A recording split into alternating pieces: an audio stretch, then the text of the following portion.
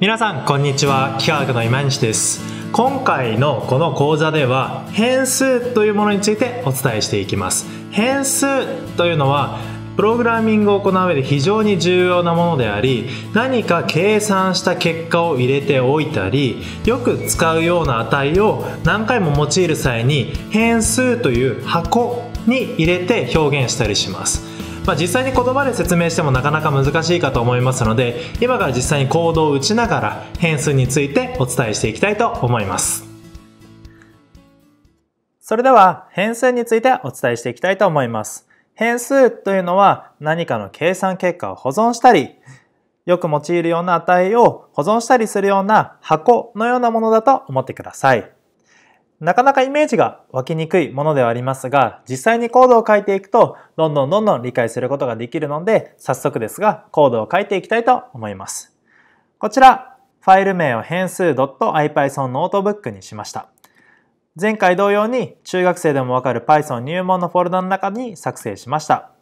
では早速やっていきたいと思います。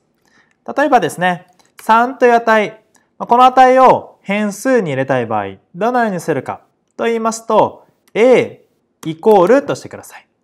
これは何を意味するかというと、3という値を a に入れますよという意味になります。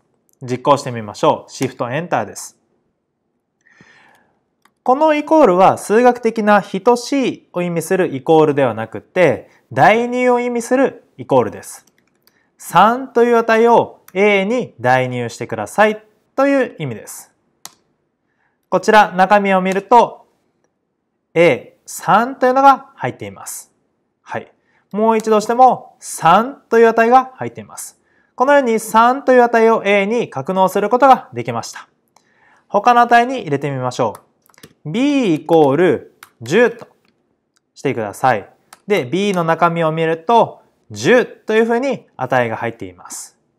では、今 A という値には3が入っていて、b という値には10が入っています。こちらを足し算するとどうなるでしょうか？はい。このように13という値になります。よろしいでしょうか？では他の値も考えてみましょう。例えば、プライス。お金、価格を意味するプライスという英語に100という値を入れましょう。100円を意味すると思っておいてください。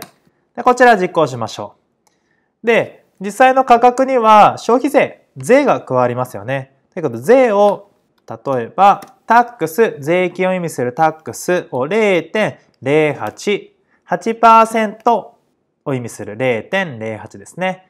パーセントは基本的には8%は0.08を意味しています。なのでこちらを実行してください。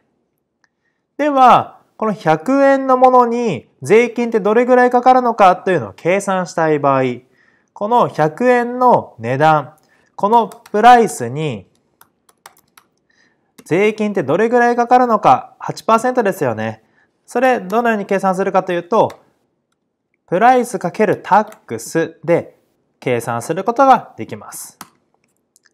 つまり 100×0.08 で今回税金は8円かかっていますよという意味になります。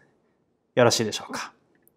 もちろんこの、例えば c イコール10とかではなくて10プラス3という計算結果をこの中に入れることも可能です。いかがでしょうか？はい。で、ここですね。じゃあ何でもかんでもこういうふうに変数というものを決めていいのかと。タックスだったりプライスだったり A、B、C というふうに決めましたが、何でもいいのかというとそういうわけではありません。こちらに使うことができる単語というのは決まっています。例えばですね、1a とかっていうふうに最初に数字持ってくると、1a というものに10を代入しようと思っても、これエラーが起きてしまうんですね。インバリットシンタックスということで、これはま文法エラーを意味しています。エラーに関してはまた後ほどお伝えしていきたいと思いますが、この 1a という変数はダメですよという文法で間違ってますよというふうにエラーが起きています。なぜかというと、先頭には数字を持ってくることはできないです。変数には。先頭にはです。なので、1a ではなくて a1 とかってすると、エラーは起きません。で、a1 の中身を見てみると、10という値が入っています。これがまず一つ目の条件です。一文字目に数字は使えません。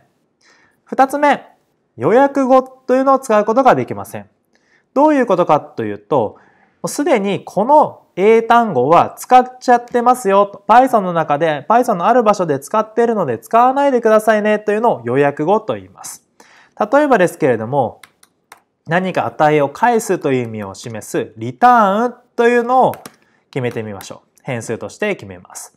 リターンイコール10とすると、こちらも先ほど同様に文法エラーが起きてしまいます。よく見てみると、なんか色が変わってますよね。リターンイコール10と h イコール10の部分、同じように変数を代入しているのにもかかわらず、リターンは紫で、こちらは色変わってないです。これが一つヒントでもあるんですね。予約語とかを使ってしまうと、このように変数の部分が色ついてしまいます。なので、もう実行してもわかるんですけども、実行する前に、あ、これ使えないんだなっていうのがわかります。なので、丸とか他の単語で代入してあげるといいかなと思います。よろしいでしょうか？はい。で、こちらですね、数字だけではなくて文字も入れることができます。他にも数字、文字やもっと複数のものを扱ったものっていうのもあるんですけれども、それは後ほどお伝えしていきます。今回お伝えするのは数字と文字についてお伝えします。文字はどのように扱うかというと、例えば名前を意味する name という変数に入れたい場合、ここでシングルコーテーションを使います。シングルコーテーションです。もしくはダブルコーテーションを使います。私は、これどちらでもいいのですが、私はよくシングルコーテーションを使うので、シングルコーテーションにします。で、ここに今にしと入れます。そうすると実行することができます。